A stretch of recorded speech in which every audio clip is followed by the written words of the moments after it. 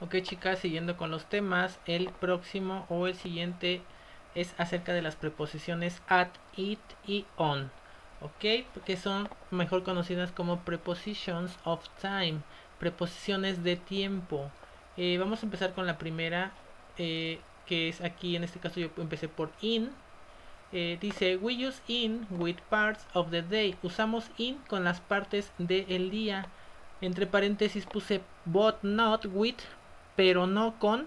Nunca vamos a utilizar in con esta palabra de noon que significa tarde y night que significa noche, ¿ok? No cuadra, no es posible utilizar in noon o in night, es incorrecto decirlo, ¿ok? Es eh, importante que recuerden esto. Solamente lo vamos a utilizar con las partes del día, con los meses, months que ya los vimos, con igual también los días de, de la semana, con las temporadas también ya las vimos y con los años, ¿ok? Por ejemplo, Aquí están todas las, la misma preposición en todas las oraciones. In the morning es correcto. In the afternoon es correcto. In the evening es correcto. In May, in winter, in 1989 es correcto. Ok, utilizarla con meses, con temporadas y años y con las partes del día.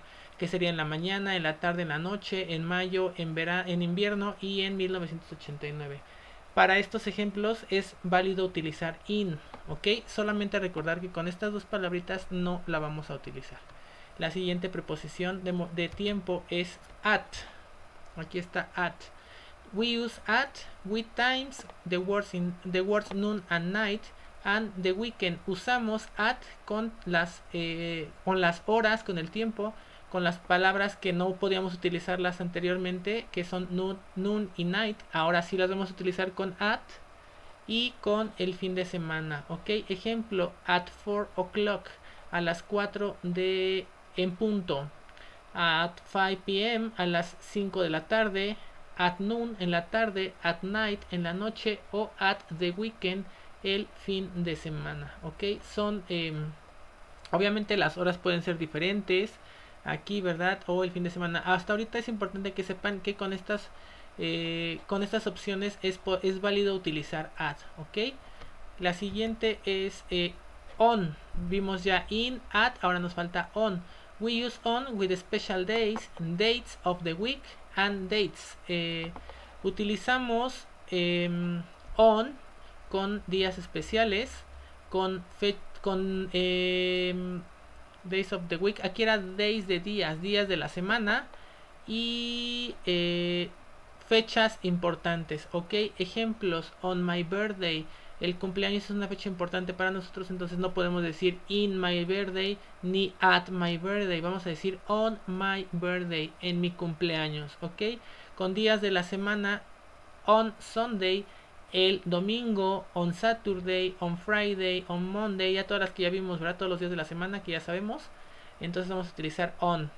Em, por ejemplo, si yo les digo, ¿cuándo tienen examen? Y si la tienen el, el, un domingo, por ejemplo, me dirían on Sunday, el domingo. Yo ya sé que me están diciendo correctamente que el domingo, porque tienen que decir primero on.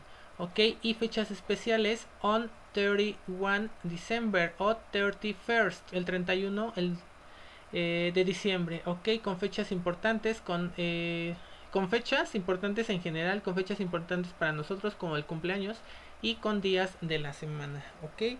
Esas son las preposiciones de tiempo, at, in, on y este aquí vamos a practicar algunas de algunas oraciones para que las sepamos acomodar. Dice, eh, nos vemos el sábado por la mañana.